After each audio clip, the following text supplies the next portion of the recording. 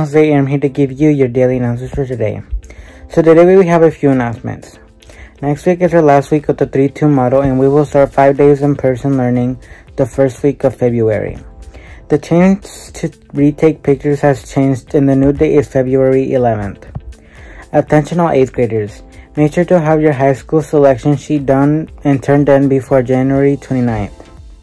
Reminder Bobcats, Make sure to wear your lanyard and your ID at all times when in the building. This will help staff identify you easier. And for our last announcement, there will be girls basketball skills development and boys athletic conditioning opportunities beginning January 25th through March 5th this year. You can stop by the main office to pick up the necessary forms to attend these activities. Well, Bobcats, that was it for your daily announcements. Bye, it's been Jose.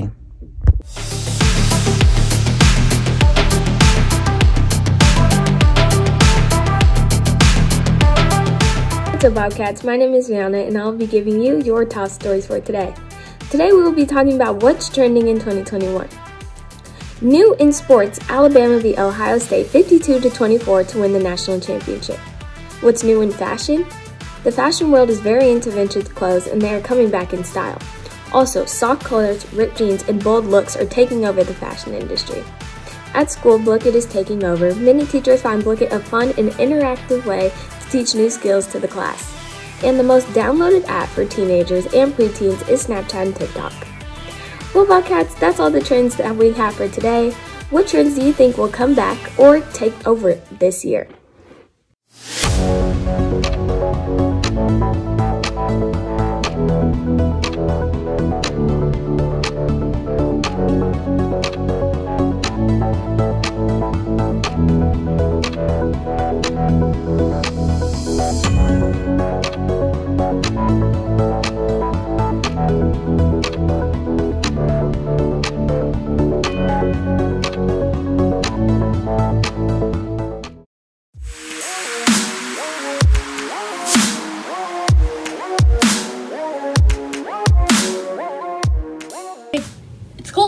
The Sports Zone.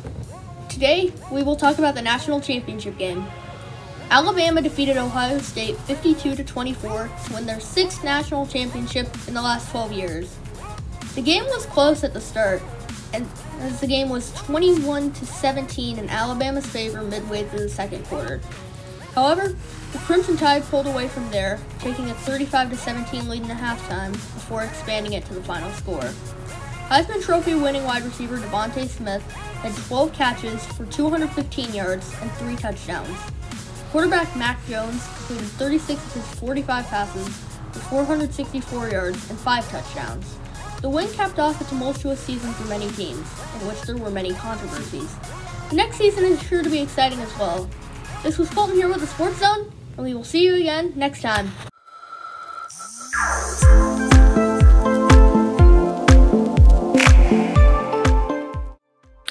What's up, Bobcats? My name is Mia, and I'm here today with your weather story.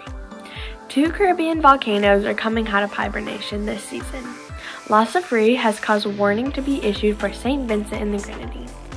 It is spewing out steam and even hot magma.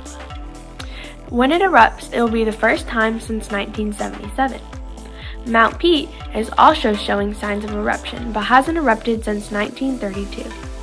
Scientists are studying what the cause is, but both of these being active at the same time could just be coincidental. That's all for your weather story today. See you next time, Bobcats.